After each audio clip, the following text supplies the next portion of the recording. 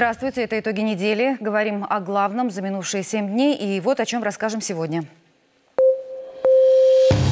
Исполин уже грезит Арктикой. Ледокол «Урал» – третье детище проекта 22-220 на Балтийском заводе. Снаружи мощь, внутри комфорт. Когда забьется атомное сердце ледокола? Вставай и плати. Зона платных парковок в Петербурге охватит весь центр и выйдет за его пределы. Как далеко? И поедет ли без пробок общественный транспорт? Спорт – отмена. Политика теперь быстрее, выше, сильнее. Как отменяют россиян в спорте высоких достижений. Уроки истории и новейшие примеры. Возможен ли новый старт и для кого? Фанаты грядок и теплиц. Петербуржцы меняют город на области, начинают борьбу за урожай. Как стартовал дачный сезон и что садоводы хотят получить в его финале? Новая туристская география. Наводнят ли Петербург гости из Китая? Ждать ли наплыва соотечественников на берегах Невы? И куда поехать самим? Маршруты лето 2022.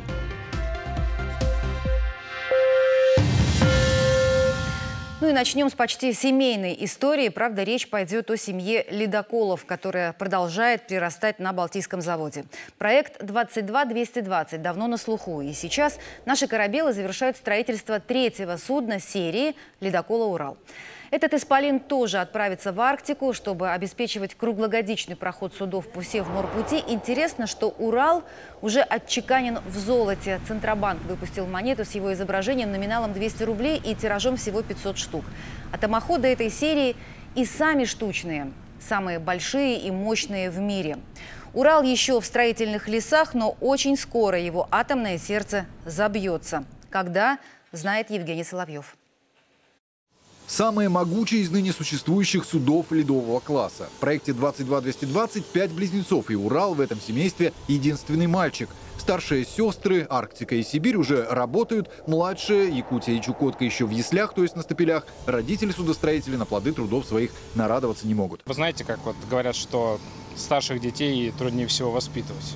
Э, именно вот процесс воспитания, взросления первых двух заказов был, э, ну, Арктика, понятно, что была головная, первая, было действительно с ней трудно.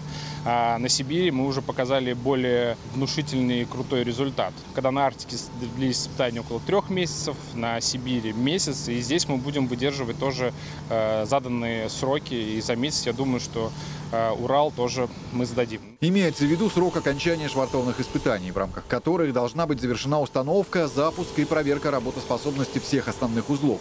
Если говорить о зачислении Урала в атомную флотилию, заказчики предлагают ориентироваться на октябрь.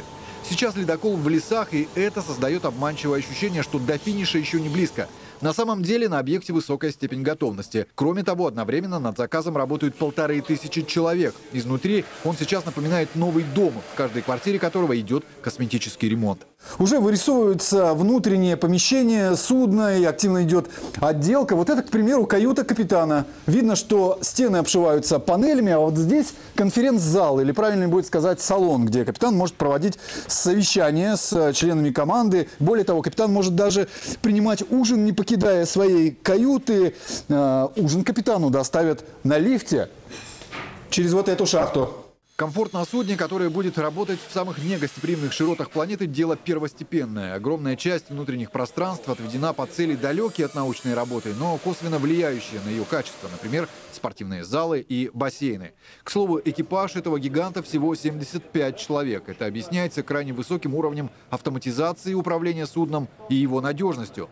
На сегодня на планете нет ни одной потенциальной угрозы, которая могла бы вывести из строя механизмы ледокола проекта 22220 так, чтобы потребовалось его ремонтировать на воде. Машинное отделение – одно из самых просторных помещений на судне. На глазок метров 20 высотой в 4 яруса. Здесь парогенераторы, газовые турбины. А вот за той переборкой ядерный реактор, сердце ледокола. И буквально через 5 дней это сердце начнет биться. Пуск ядерного реактора – часть швартовных испытаний. Одновременно рутинный и очень волнительный момент. Это одна из основных операций именно на атомном ледоколе потому что подключение механизмов, э, турбин и так далее. Это все, скажем так, такой более простой процесс, а все-таки запуск ядерного реактора, да, это фактически мы запускаем его сердце. Петербуржцы спешат успокоить, физический запуск ядерного реактора ни на один микрозиверт не изменит традиционный фон города. К слову, в отсеках атомного ледокола он даже ниже, чем на Дворцовой площади, проверено. К тому же после завершения швартовных испытаний у причальной стенки Балтийского завода надо освобождать место для других ледоколов проекта. Поэтому Урал уйдет туда, где его уже ждут – Сибирь и Арктика. Когда третий из близнецов присоединится к своим сестрам в арктических широтах, у России будет самая мощная ледокольная флотилия на Северном морском пути. Уже сейчас в этих водах до самого полюса для нас не осталось недоступных мест для навигации. Более того, всем, кто хочет круглый год пользоваться преимуществами самого короткого транспортного коридора с востока на запад, в этих условиях крайне невыгодно ссориться с единственной страной мира, которая поведет по этому пути только своих друзей и партнеров. Евгений Соловьев, Иван Попов, Дмитрий Кальяса Родригес, Александр Макаренко, Юлия Капралова. Итоги недели. Телеканал Санкт-Петербург. Петербурге могут отменить масочный режим. Александр Беглов направил главе Роспотребнадзора Анне Поповой обращение с просьбой снять это ограничение. Пока же все действующие противоковидные меры в городе продлены до 15 июня. За последние четыре недели заболеваемость коронавирусом в Петербурге снизилась на 40,5%. Сейчас для лечения больных COVID-19 развернуто полторы тысячи коек в семи стационарах. Александр Беглов сегодня побывал в Московском районе. В ходе традиционного субботнего объезда губернатор осмотрел новые социальные объекты в строящемся жилом комплексе «Галактика». Это детский сад на 220 мест с бассейном. Как отметил губернатор, застройщик выполнил перед городом все обязательства. Детсад будет сдан в эксплуатацию осенью одновременно с жилыми домами. На Малой Митрофаневской улице тоже в начале осени откроется педиатрическое отделение 35-й поликлиники. Кроме участковых врачей, там будут принимать невролог и ортопед. Также в офисе оборудуют процедурный кабинет. Побывал губернатор и в школе 703. Ее сдали на полгода раньше срока, поэтому занятия начались с 1 сентября 2021 года. Александр Беглов подчеркнул, что это одна из самых современных и оснащенных школ в Петербурге. Оборудование позволяет проводить уроки в интерактивном формате. В школе есть лаборатории, где можно в формате 3D изучать химию и физику. Для этого есть VR-шлемы. Есть 3D-сканеры, 3D-принтеры и еще много чего полезного, что делает необычайно увлекательным и эффективным учебный процесс. Александр Беглов дал поручение помочь школе приобрести оборудование для новых лабораторий, которые позволят 703-й а, школе стать полноправным участником проекта Национального исследовательского центра «Курчатовский институт». Что еще было в недельной рабочей повестке губернатора, подробнее расскажет Лидия Вельба. В детской больнице Святой Марии Магдалины открылся долгожданный лечебно-диагностический комплекс. Проектирование и подготовка к строительству начались еще в 2010-м, но из-за высоких требований к соблюдению градостроительных норм в историческом центре работы затянулись. Их ускорили по требованию губернатора. И вот результат. На 5000 квадратных метров разместили несколько отделений – нефрологическое, кардиологическое, ревматологическое и аллергологическое. Корпус рассчитан на 160 коек, принять может до 26 тысяч пациентов в год. Но главное это одно из немногих клинических учреждений, где детей амбулаторно наблюдают после пересадки почки или печени. Это большой подарок, который сделали строители для наших детишек.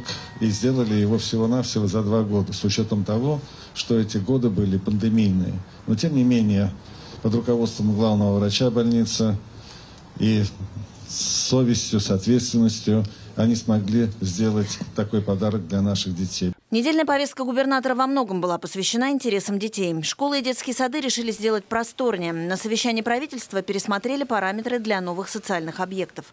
Так, до 8 тысяч квадратных метров будет увеличена площадь детского сада в Ручьях, а на Дунайском проспекте построят сад площадью 4,5 тысячи квадратов вместо двух.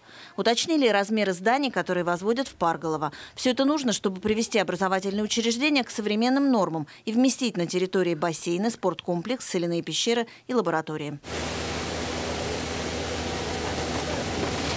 В среду в Смольном наградили 16 многодетных петербургских семей за заслуги в воспитании и вручили денежные премии. Знак первой степени получила семья Егоровых, в ней 10 детей. Надо любить детей, надо прислушиваться к ним, прислушиваться к их э, желаниям, надо смотреть, э, к чему стремятся дети. Не надо пытаться там гнуть свою какую-то линию.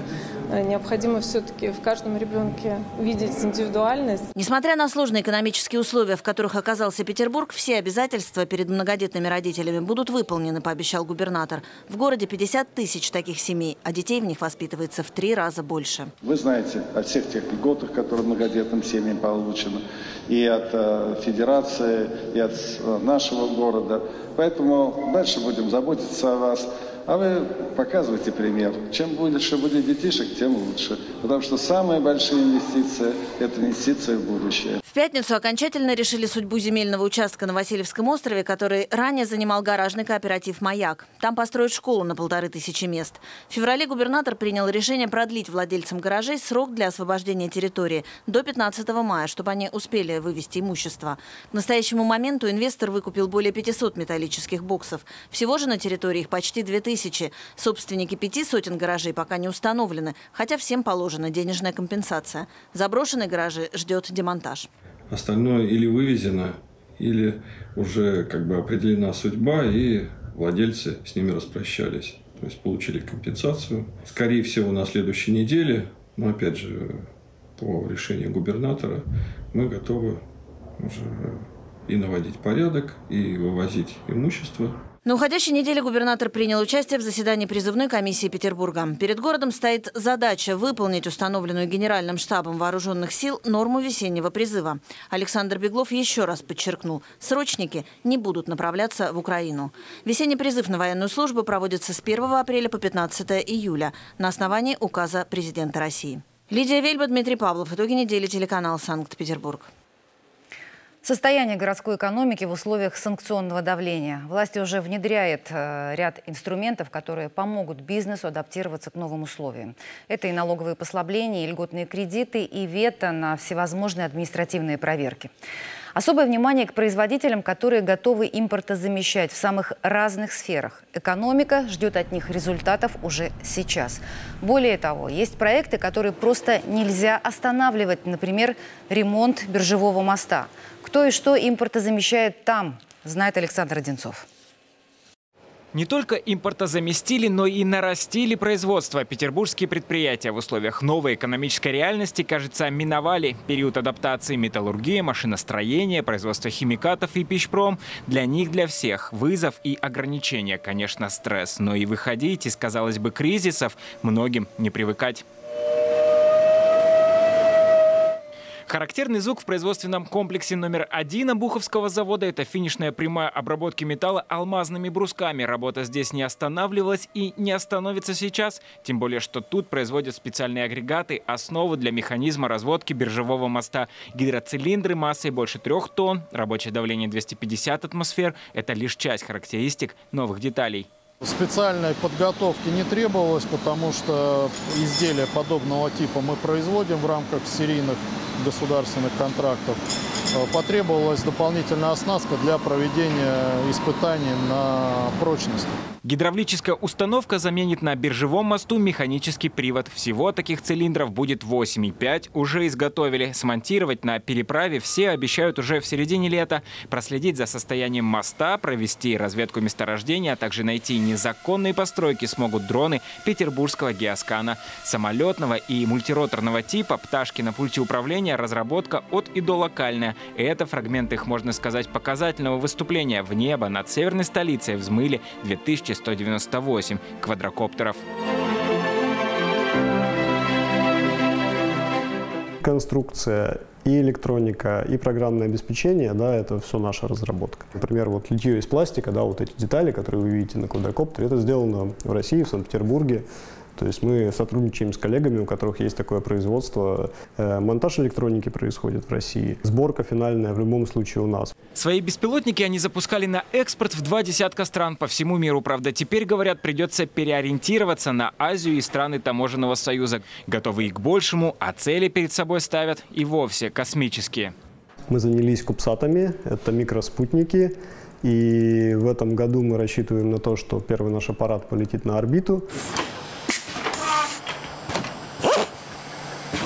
Не остановились сами и помогают оставаться в строю другим. Предприятие «Неохим» уже 15 лет выпускает химикаты для ведущих отраслей промышленности. За это время они научились принимать экономические вызовы. Например, в первый же месяц пандемии наладили выпуск антисептиков для обработки рук и различных поверхностей. В рынке B2C были основные игроки ранее, западные компании. Но нам удалось вытянуть и, быть, и стать номером один по поставкам антисептиков и огнезащиты. Кроме промышленной химии, компания выпускает средства для защиты дерева и камня. Сегодня они есть во всех строительных магазинах страны, а также в Беларуси и Казахстане. Сырье в основном отечественное, что-то привозят из Индии и Китая. Закрытые бизнес-границы их только подстегнули развивать новые направления. Теперь тут знают, из чего делать отечественные жидкие гвозди и смолу для асфальта. С точки зрения расширения клиентской базы для нас, конечно же, это а, огромный плюс, потому что помимо того, что мы разрабатываем для них рецептуры, мы можем предложить им уже готовый продукт, э, который у нас есть. А петербургские пекари готовы заменить иностранные снеки, Невскую сушку без преувеличения, знают по всей стране. На сегодняшний день у нас есть практически со всеми федеральными сетями федеральные контракты, то есть у нас можно купить практически во всей Российской Федерации. Возможно, на Дальнем Востоке чуть сложнее, но тем не менее до Урала это точно везде. Традиционный вкус, отработанные годами технологии, правда, и тут новые горизонты. Запускают сушку со вкусом чеснока, бекона и помидоров. Быть может, и они станут новым фирменным угощением из северной столицы. Многие предприятия сейчас не просто научились выживать в условиях санкций, но и поняли, что развитие в этих обстоятельствах тоже возможно. Александр Одинцов, Александр Лоскутов. Итоги недели. Телеканал Санкт-Петербург. Центр Петербурга в ближней перспективе почти полностью будет охвачен платными парковками. Зону расширяют. Сейчас обустроено 8 тысяч мест, а к концу года появится еще 20 тысяч. Это больше 250 улиц. Городские власти планомерно реализуют идею о приоритете общественного транспорта. В идеале автобусы и троллейбусы не будут стоять в пробках, а автолюбителям станет просто невыгодно ездить в центр на машине. Когда заметим перемены и далеко ли за пределы центра уйдут границы платных парковочных зон? Подробности знает Максим Лебедев. Разгрузить центр города от автомобилей, ускорить движение машин экстренных служб и общественного транспорта. Чтобы достичь этих целей, в Петербурге планомерно вводят систему платных парковок. В декабре зона таких стоянок заняла 99 улиц центрального района. К концу года эта цифра существенно изменится. Будет введена платная парковка полностью на территории центрального Адмиралтейского округа. Мы запускаем первые 56 улиц в центральном районе с 1 июля. С 1 сентября еще 56 улиц в Центральном районе и 153 улицы мы запустим 1 ноября этого года в Адмиралтейском районе. После масштабного расширения платная зона распространится на 364 городские улицы. К концу этого года парковочное пространство будет включать в себя около 30 тысяч мест для машин. Но и это еще не все. В следующем году зона платной парковки станет еще в два раза больше. Практически полностью она охватит Васильевский остров и Петроградскую сторону. Число участков для авто, за которые потребуют плату, оценивают в те же 30 тысяч мест.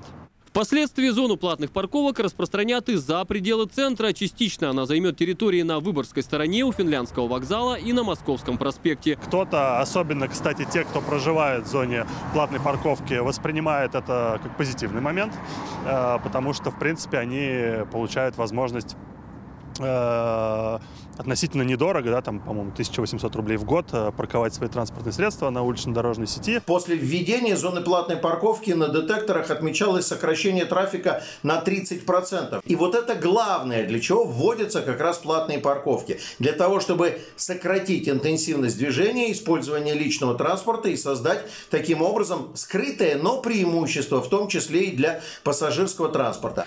Вместе с новыми паркингами появятся и новые паркоматы. Кстати, свежая техника будет полностью отечественного производства. Ранее использовали шведские системы. Аппараты, которые устанавливали в прошлые годы, собираются обновить. Частично те паркоматы, которые были установлены в пилотной зоне, где вот 3000 парковочных мест, улица Некрасова, Фонтанка, мы планируем их модернизировать в этом году. Для того, чтобы не покупать новые, мы планируем поменять начинку, поменять какие-то узлы в этих паркоматах, чтобы они продолжили работать. И все же основной упор сейчас делают на цифровые способы оплаты. Петербургские водители, как правило, пользуются электронным приложением. С помощью интернета можно ознакомиться и со схемами расположения платных зон. Их разместили на сайте городского центра управления парковками. Максим Лебедев, Егор Орлов, Елена Баранова, телеканал Санкт-Петербург. Больше полумиллиона туристов за майские праздники. Петербург неплохо начал первый после пандемии сезон. По оценкам экспертов рынка, так и будет. Да, без наплыва иностранных гостей, но наши соотечественники вполне их заместят. На майские к нам ринулись в основном из Москвы и Подмосковья, из прилегающих областей центра России, но были путешественники из городов Урала и Сибири. Традиционные экскурсионные маршруты в городе на Неве по-прежнему вне конкуренции, однако Петербург готов предложить туристам и другие неочевидные локации. Кстати, горожанам может быть не безинтересно. Впрочем, последние сейчас поглядывают за пределы города. О доступной нам географии лето 2022 расскажет Мария Марченко. Тот, кто в городе впервые, конечно, хочет побывать в Эрмитаже, Русском музее, на колоннаде Исаакиевского собора, увидеть янтарную комнату и фонтаны Петергофа. Но современный Петербург – это еще и креативные пространства, арт-кластеры, Лахта-центр и Газпром-арена. Все эти точки притяжения – новая туристская география, которую в этом году путешественникам предлагает Комитет по развитию туризма. Санкт-Петербург а, разный но со своей особой э, такой атмосферой, которая превращается в, такой, в разные программы досуга. Э, сходил в музей, потом выпил чашечку кофе, посмотрел на стрелку Васильевского острова на берегу Невы. Там зашел э, в модный гастробар, попробовал какие-то новые э, Э, продукты, новые блюда, там сел на кораблик, э, там, все в Кабельпорт э, или в Новую Голландию, отправился погулять, посмотреть. Москвичи Тенгиз и Ксения в последний раз приезжали в Петербург еще школьниками. Сейчас показывают северную столицу своей дочери Ане.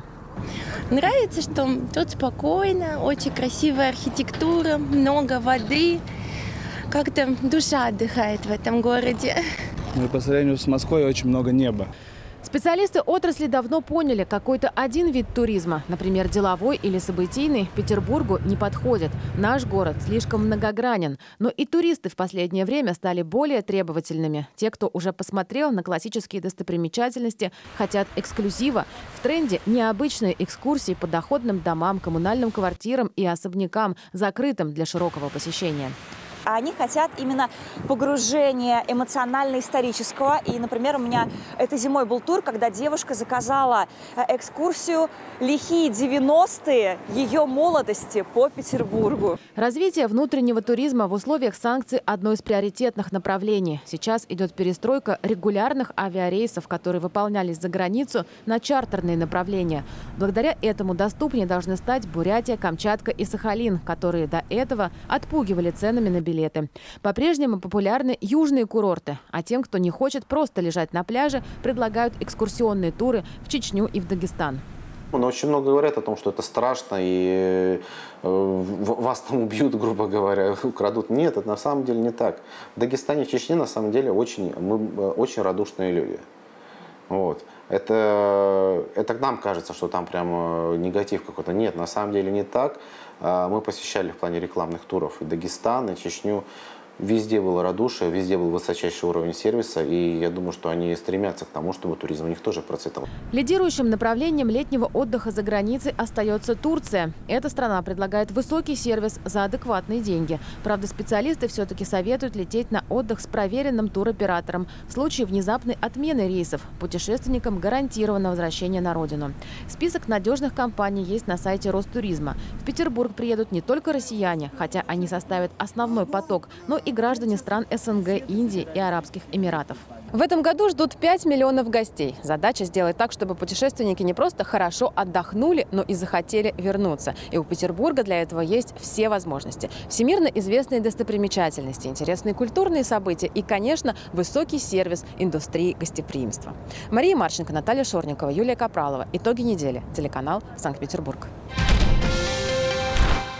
Спортивные отмены. Петербург ведет отчет большим международным событиям, которые в нашем городе уже не состоятся. Такой же перечень отмен есть теперь и у каждого отечественного спортсмена. Их личный список неучастия, как, например, нашей национальной сборной в чемпионате мира по хоккею. Правила диктует политика. Сюжет совсем не новый, разыгранный много раз и на разных аренах в 20 веке. Современный сценарий, конечно, отличается, но есть параллели. Чему учит история и возможен ли новый старт? Об этом в репортаже Александра Буренина.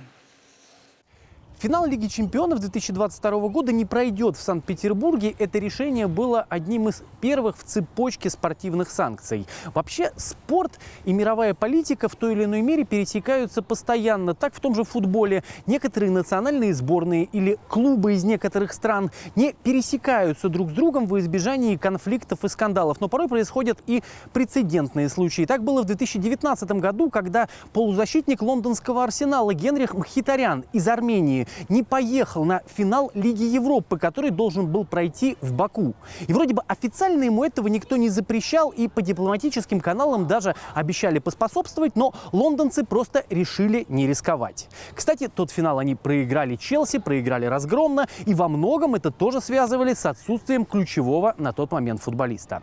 Павел Васильев, болельщик «Зенита», 24 февраля был на выездной игре с испанским «Бетисом». Тот матч стал последним для российских клубов на европейской арене. Конечно, как фанаты мы, наверное, надеемся всегда на победу. Вот. Хотелось, естественно, победить. И матч, на самом деле, был хороший. То есть, как это звучит, конечно, достойный вылет. Ну, это глупо, но хорошо играли. И да, конечно, уже понимали, что наверное, нас дальше не пустят, но либо будет УЕФА что-то решать. Уже через день стало понятно, что и в случае победы клуб бы дальше не пустили, а сам Павел после той игры поменял билеты и успел вернуться последним рейсом, который пролетел по привычному маршруту. Затем их стали отменять. Некоторые фанаты возвращались из Испании через Сербию, Турцию и Амстердам чуть ли не неделю. А это аэропорт Пулково. 11 мая боксер Дмитрий Бивол вернулся со щитом, точнее с чемпионским поясом из Лас-Вегаса, одолев мексиканца Канелло. Говорит, старался не обращать внимания ни на что, думая только о боксе. Получилось. Зал принял как бы это, и никто не возмущался, ничего. То есть они как бы поздравляли. Многие мексиканцы потом жали руку, говорили, теперь у меня появился новый любимый боксер, еще один. Этот бой многие предлагали отменить, не допустив Дмитрия в ринг. Но крупнейшие боксерские федерации – это действительно про бизнес и имидж, а не про политику. 20 тысяч зрителей битком в Лас-Вегасе, все билеты проданы, права на трансляцию через стриминговые каналы проданы. Поэтому руководители этой вот компании стриминговой, в частности, самая Дихирн, они спросили этих умников, вот э, ты заплатишь неустойки? Нет, я не заплачу. Поэтому бой состоялся, конечно. Удалив с европейской арены командные виды спорта от футбола до флорбола, в индивидуальных состязаниях отечественным спортсменам сохранили право на спорт. Громче всех выступила ассоциация теннисистов-профессионалов. Они грозят легендарному английскому Уимблдону снятием рейтинговых очков за недопуск Даниила Медведева и компании. Вполне понятно, что на кону опять экономика на самом деле. И это такая большая экономика, что она позволяет теннисной федерации на самом деле забывать в том числе о политике. И я почему-то подозреваю, что вот именно теннису это даже может и сойти с рук. До 2022 года самым громким политическим жестом в истории спорта был бойкот Олимпиады 80 в Москве капиталистическими странами. И наш ответ Чемберлену – пропуск игр 84 года Советским Союзом и странами соцлагеря. Но эти демарши готовились заранее и не были сюрпризами. На спортивных результатах это тоже сказалось. Тяжелая атлетика сегодняшней молодежи, вот сложно поверить, те годы была безумно популярна. Э, естественно, возглавляли там все советские, болгарские спортсмены. Э, на Олимпиаде, 8, мне запомнилось, 84 э, в тяжелом весе, самая престижная весовая категория, победил австралиец с классической австралийской фамилией Лукин, видимо, иммигрант из Советского Союза. Результат показал ниже норму мастера спорта нашей страны. Вот такое тоже бывало. Представители некоторых стран, бойкотировавших игры, все-таки приехали в Советский Союз тогда самостоятельно. Великий гонщик Ники Лауда оплатил поездку своей землячке Элизабет Тойрер, и она взяла золото. Вообще, спустя 40 лет удивляешься пересечением судеб. Ведь также на Олимпиаде в Москве золото и серебро взял британец Себастьян Коу, ныне президент Международной Федерации легкой атлетики. В 80-м году он сам выбрал спорт, не желая терять золотую мечту. А сегодня ратует за полное исключение российских российских спортсменов из всех соревнований. Такой вот локальный пример двойных стандартов, которые сегодня действуют уже в международном масштабе. Александр Буренин, Александр Аксенов, Дмитрий Баландин, Александр Борисов. Итоги недели. Телеканал Санкт-Петербург. Это итоги недели. Мы продолжаем. И вот что покажем по второй части нашего выпуска. Фанаты грядок и теплиц. Петербуржцы меняют город на область и начинают борьбу за урожай. Как стартовал дачный сезон и что садоводы хотят получить в его финале. Корюшка хорошо пошла и в царской ухе, и просто жареной у стен Петропавловской крепости. Фестиваль любимой петербургской рыбки. Сколько тонн свежей корюшки ушло на угощение? Циклон теряет силу над северной столицей. Какое потепление нас ждет и надолго ли? Подробный прогноз погоды в конце выпуска.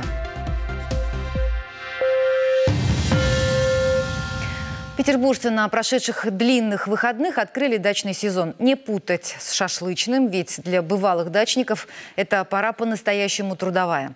На свои шесть соток ежегодно уезжает два с половиной миллиона горожан. Есть даже цифры, что за сезон на участках дачники из Петербурга выращивают примерно 500 тонн плодов и овощей. Петербургские власти уже несколько лет развивают в области так называемую дачную медицину, то есть открывают в крупных садоводствах медпункты. Сейчас их 42, и еще 9 появятся в самое ближайшее время. Работают они обычно с мая по сентябрь. Говорят, дачников можно разделить на два лагеря. Первые – это те, кто рассматривает домик за городом исключительно как место отдыха, а вот вторые – настоящие фанаты грядок и теплиц. В Ленобласти они умудряются выращивать даже виноград. С теми, кому под силу дачные подвиги, познакомился Александр Громов. На календаре май, а значит самое время как следует гнуть спины. Полоть, копать и окучивать на дачных электричках уезжают тысячи горожан. И неважно, у кого какая профессия. С этого момента все они земледельцы и точно знают, как извести зловредных жуков или выпистывать самые капризные растения. Обреченно глядя вдаль, Андрей Конников сторожит рассаду. Вскоре вздыхает мужчина, ему предстоит несколько дней активного труда. Ничего в рассаде не понимаю. А откуда это у вас? Жена везет. А, жена везет. А вы? Я, а я как мул тащу. К причудам неугомонной супруги петербуржец относится с пониманием, констатируя, впрочем, старания жены, как правило, сизифов труд. Ну там почвы плохие, куда там что-то сажать? Вызреет, не вызреет. Крот сожрет, белка его несет. Благоухая духами и томатной рассадой, на дачу собралась Светлана Фоменко. Несмотря на свой внешний вид, уверяет дама, она не чужда лопате и тяпки. А я должна э, что-то одеть особое? Чепчик на голову, наверное, да? Нет, там я буду дачницей. Я не люблю помидоры, муж любит помидоры. А я люблю сажать огурцы. Вот где прелесть. Когда снимаешь такой маленький, и сразу в рот. В воздухе пахнет кострами, тут и там стучат молотки. Дачный поселок оживает после зимней спячки. Как говорят, движение – это жизнь. Труд облагораживает человека. Поэтому надо трудиться. Деловито, кружась над грядками, неутомимая Анна Кузнецова открывает юбилейный 35-й дачный сезон. У меня цветов очень много, ассортимент очень большой.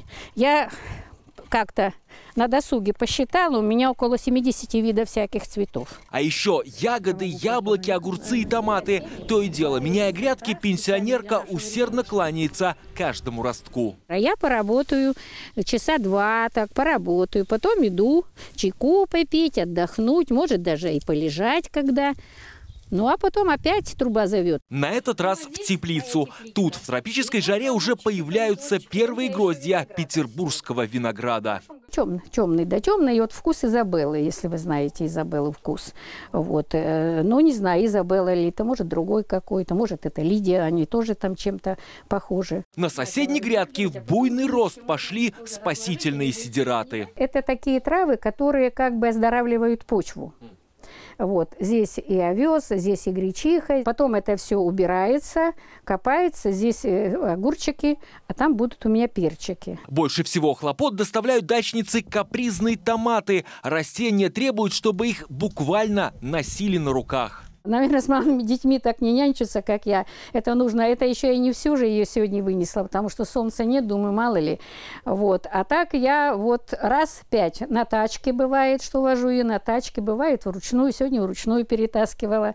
Вот. А вечером где-то часиков в 7, уже в 8 я уже ее домой потащу. Зато выращенного за лето хватит на весь год, на протяжении которого, уверяют дачники, их мозолистые руки будут отчаянно скучать по граблям и лопатам. Самый ответственный момент, э, когда почка начинает э, разрастаться, начинает выкидывать листочки. Так трогательно офицер в отставке Сергей Олейник рассказывает о розах. Кусты он бережно открывает солнцу, чтобы горячие лучи не обожгли молодые побеги. Еще растут ирисы очень интересные, красивые тюльпаны, флоксы. В общем, получается очень интересный, очень интересный ансамбль. Рядом с розами зона медитации. В зарослях ели и туй бывший моряк отдыхает от трудов сухопутных. Огурцов получается где-то порядка 80-100 килограмм. То есть э, этого вполне достаточно. Вот, четыре э, куста кабачков, три яблони, несколько слив. В период э, хорошего лета, то есть э, получается весьма такой приличный урожай. Но пока, признаются дачники, об отдыхе думать рано. Именно от работы на первые майские дни зависит, сколько банок с вареньем и соленьем они закатают на предстоящий год. Александр Громов, Наталья Шорникова, Анатолий Юхнин и Анатолий Рябинко. Итоги недели. Телеканал Санкт-Петербург. Теперь о других заметных событиях этой недели короткой строкой в нашем обзоре. В воскресенье в Петербурге завершается отопительный сезон. Решение о прекращении регулярного теплоснабжения принято в связи с повышением температуры воздуха. Продолжительность отопительного сезона зависит исключительно от погоды. Больше пяти суток в Петербурге воздух прогревался выше 8 градусов. Синоптики также дают положительный прогноз. В этом сезоне батареи и квартиры петербуржцев грели 244 дня. Трамвайную линию по маршруту Купчино-Шушары-Славянка начнут строить летом. Инвестор новой ветки закончил разработку проектной документации. Строить линию будут в два этапа силами полутора тысяч специалистов. Всего проложат 21 километр путей, построят 4 путепровода и 3 моста. На маршруте запустят 22 современных трамвайных вагона. В Петербурге началась подготовка к 17-му международному книжному салону. Он пройдет на Дворцовой площади. Там устанавливают шатры и монтируют сцену около Александровской колонны. Участие в книжном салоне для издательств в этом году бесплатное. Такое решение приняли в правительстве города, чтобы поддержать издателей в непростой экономической ситуации. Салон откроется 19 мая и продлится 4 дня. Сотрудники сочинского МЧС спасли петербуржца, который на хребте Айбга провалился под снег на глубину около трех метров, а затем упал в ручей. 41-летний мужчина хотел сделать селфи на фоне водопада, пренебрег правилами безопасности и сорвался вниз. Спасатели эвакуировали туриста и передали его медикам. Петербурге с понедельника неделя чистых фасадов. Ее объявила Государственная административно-техническая инспекция. ГАТИ проверит нежилые здания в девяти районах города. Особенно присмотрится к граффити. В ГАТИ напоминают, что не борются со стрит-артом, но призывают всех соблюдать закон. Тем более, что в Петербурге есть альтернатива для уличных художников. Свои работы они могут демонстрировать на фасадах в виде световых инсталляций. В Петербурге уже есть десяток адресов, где установлено оборудование для брандмауэрной засветки. Почти 900 петербуржцев пострадали на минувшей неделе от укусов клещей. Из них треть – дети. 77 случаев произошли на территории города. В рейтинге самых опасных районов – Курортный, Пушкинский и Выборгский. Среди исследованных в лаборатории клещей только один оказался энцефалитным. Операция по спасению енота во Всеволожске.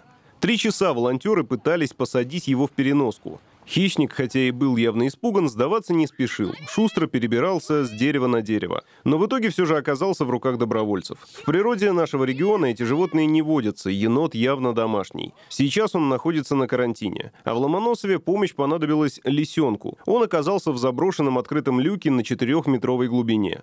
Малыша достали специалисты кошки «Спас» и отправили в Центр реабилитации диких животных. Больше 70% петербуржцев готовы поменять специальность, если им предложат лучшие условия. Это выяснилось в ходе опроса на сервисе «Городской диалог». Он работает на сайте и в мобильном приложении «Единой карты петербуржца». При этом половина опрошенных в настоящий момент не ищет работу. И почти 60% респондентов не готовы снижать свои зарплатные ожидания даже ради сохранения работы или гарантированного трудоустройства на новое место. Каждый второй пользователь ЕКП рассматривает варианты подработки. У 9% она уже есть, и 21% петербуржцев в настоящий момент не ищет дополнительный заработок. У Петропавловской крепости сегодня все ели корюшку. Как прошел фестиваль любимой петербургской рыбки? Расскажем после небольшой паузы. Дождитесь.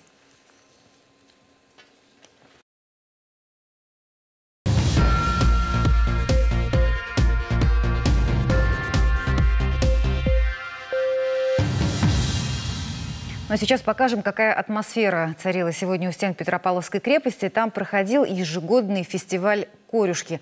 Праздник чисто петербургский, у него уже есть свои традиции, в основном гастрономические. Ну, например, только на фестивале можно попробовать царскую уху. Хотя корюшка сегодня прекрасно шла и просто жареной. Рыбы выловили несколько тонн, чтобы приготовить угощение. И попробуй, только не попробовать. Именно с таким редакционным заданием на фестиваль отправился наш корреспондент Александр Атлагишеев. Рыбным днем по-петербургски принято считать не четверг, а, вопреки принятым правилам, а два выходных в мае с массовыми народными гуляниями и главным атрибутом корюшкой. Вот ее как раз здесь можно отведать в любом виде. За два пандемийных года Петербург и гости города соскучились по празднику с запахом огурцов. Пляж у стен Петропавловки собрал не одну тысячу человек со всей страны. Организаторы объявили, в этом году впервые вход на гуляние бесплатный. Все соцсети пестрели этим событием, а, поэтому хотели посетить. А, у нас на Чукотке тоже есть корешка, конечно, гораздо больше. Очень любим корешку, поэтому не могли пропустить это знаковое событие. Повара трудятся без остановки на 50 мангалах. У каждого свой секрет, но самый популярный – старый петровский рецепт. Обвалять рыбу в муке с солью и обжарить на раскаленном масле. Кульминация праздничного меню – уха на выбор. Финская со сливками и плавленным сыром, царская по рецепту Алексея Меньшикова, первого генерал-губернатора губернатора Петербурга. За два десятка лет работы, рассказывают опытные повара, не готовили уху разве что из топора. Рыбаки прям при, приплыли сюда на большой лодке и стали доставать, скидывать рыбу. И привезли вот такую вот акулу. И говорят, обязательно, чтобы эта акула попала у нас э, в наш котел. Ну, я думала, что она как обычная рыба, стала ее резать и так, и так, она просто резиновая. Право первой пробы предоставили Петру Алексеевичу. Отведал император знатные ухи и тут же приказал. Эх ты, гомить, да, хорошо. Кроме гастрономической части, в программу вошли выступления артистов и творческих коллективов. Отведать хрустящие корюшки и царские ухи, приготовленные в рекордных объемах, ежегодно в северную столицу приезжают до 60 тысяч человек. Однако сами петербуржцы относятся к рыбе-огурцу двояко. Много тех, кто считает ее второсортной рыбой, предпочитая видеть на столе более благородные виды – судака или карпа. Но всех истинных петербуржцев объединяет одна примета – если в воздухе запахло огурцом, значит значит пришла весна. Александр Атлагишиев, Павел Чащин, Олег Марков. Итоги недели. Телеканал Санкт-Петербург. Сейчас о погоде. Чуть потеплеет на предстоящей неделе в Петербурге. Тем не менее, будет облачно с прояснениями, небольшие дожди. По ночам температура от 4 до 8 градусов тепла. Днем воскресенье, понедельник 12-13 выше нуля. Вторник будет прохладным, не выше 7. И во второй половине недели снова потепление от плюс 10 в среду до 15 тепла к пятнице. У меня на сегодня все. Прямо сейчас э, в нашем эфире смотрите музыкальную программу «В ритме Петербурга». Повтор итогов завтра в 9 утра. Я вернусь в эту студию в следующую субботу. Всего доброго.